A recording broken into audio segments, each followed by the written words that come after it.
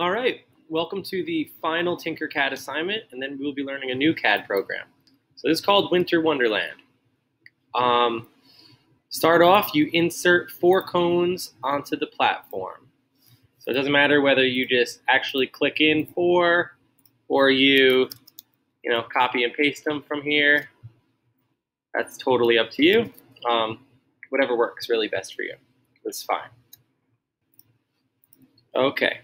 Um, make one cone 50 by 50, make another 40 by 40, uh, make another 30 by 30, and then the other one, it says make the other one 20 by 20, which means you don't really have to do anything because they're naturally 20 by 20. Okay, so that's 50 by 50. This is 40 by 40. And then we have, got to zoom out a little bit, maybe move something over uh, 30 by 30. And then the other one's 20 by 20. So nice. Okay, so that's what it should look like. Good. Uh, lift the cones up at intervals of 12. So the widest one we'll keep at 0, and then the next one 12, the third one 24, the fourth one 36.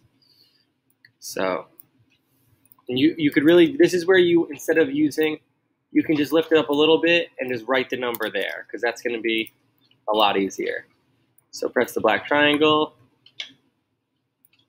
And then here, this would be 36. Good. So now they're raised a little bit.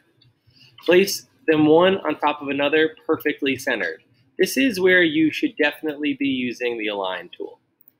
So what you can do is if you highlight everything and press align, then the two middle ones here, and now you have them all perfectly aligned. All right, uh, paint them green.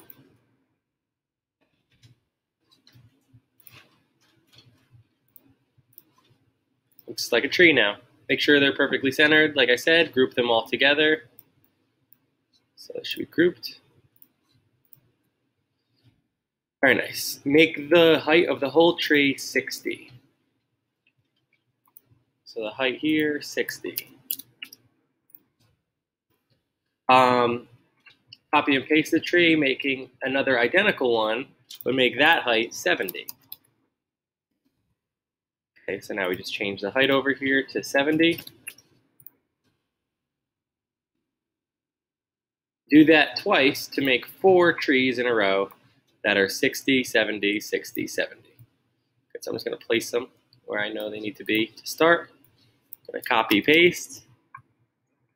And then I'm going to take that and move them over. All right. I'm uh, I like making sure that they're where they need to be. So I'm going to just be particular about it.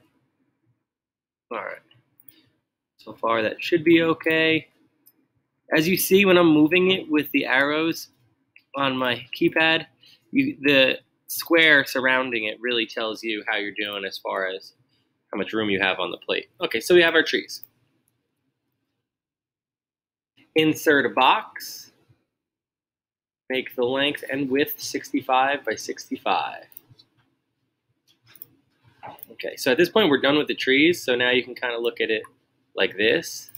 So this is going to be 65 by 65 uh, make a height of 65. Yeah, right here. So that's the height. So 65. It's good.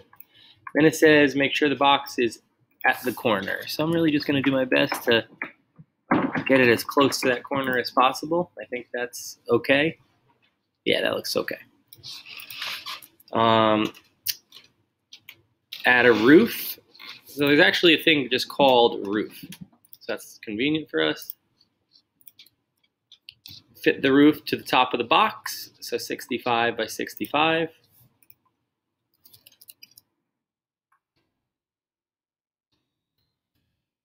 Well, let's see if we have to change the height of anything. Okay, and then it says make the height of the roof 20. I think it starts off as 10. It does. Good. And I will see you all next video.